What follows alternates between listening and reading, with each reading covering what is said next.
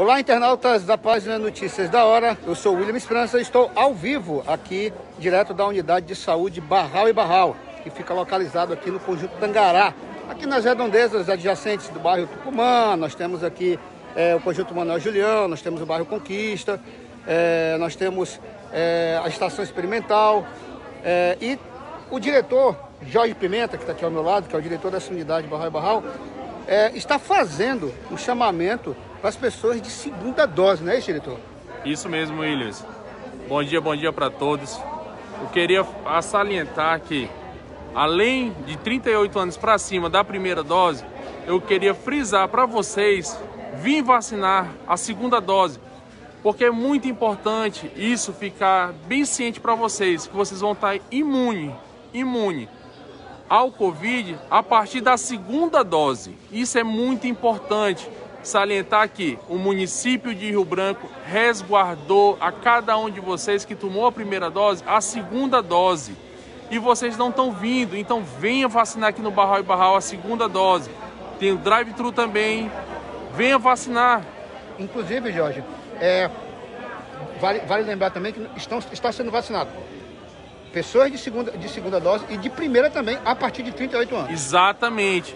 Se tiver 38 anos, a partir de, de 38 anos. De 38 anos para cima, a gente está vacinando a primeira dose. Mas eu volto a salientar, volto a frisar. Gente, é muito importante tomar a segunda dose, porque só assim você vai estar tá imune ao Covid.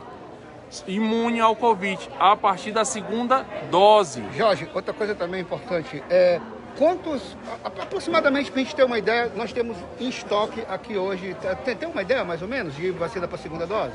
Todos, não, Williams, só explicar novamente, todos, todos que tomaram a primeira dose, o município de Rio Branco resguardou você para a segunda dose, está todos guardados. Olha. Quem tomou a primeira, o município de Rio Branco, juntamente com Frank, secretário, Sheila Andrade, diretora do DAS, resguardou resguardou a segunda dose. Vocês têm a segunda dose já resguardada, é só nos procurar para ser vacinado.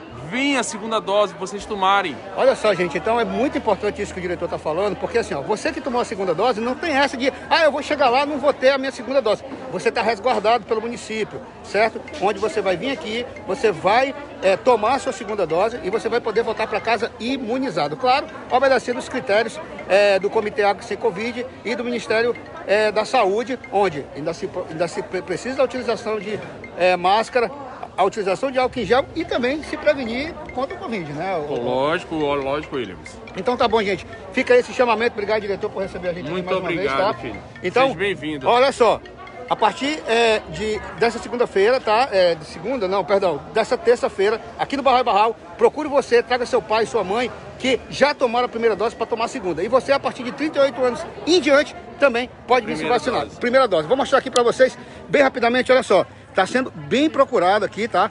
Ah, as pessoas de primeira dose, a gente pode ver algumas pessoas, inclusive novas aqui na, nessa faixa etária de 38 anos, mas também estamos vendo muitas pessoas idosas que vieram buscar a sua segunda dose. Tá ok? Então fica esse chamamento. Eu sou o William Esperança por Notícias da Hora. Voltamos a qualquer momento com mais informações sobre a Covid-19 e demais assuntos relacionados ao nosso estado.